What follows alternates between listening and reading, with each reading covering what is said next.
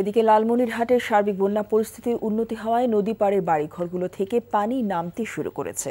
Teesta barrage পয়েন্টে পানি বিপদসীমার নিচ দিয়ে প্রবাহিত হচ্ছে। এবারে বন্যায় নদী তীরবর্তী দুটি ইউনিয়নের রোপা, আমন পাট সহ বিভিন্ন ফসলের কিছুটা ক্ষতি হয়েছে।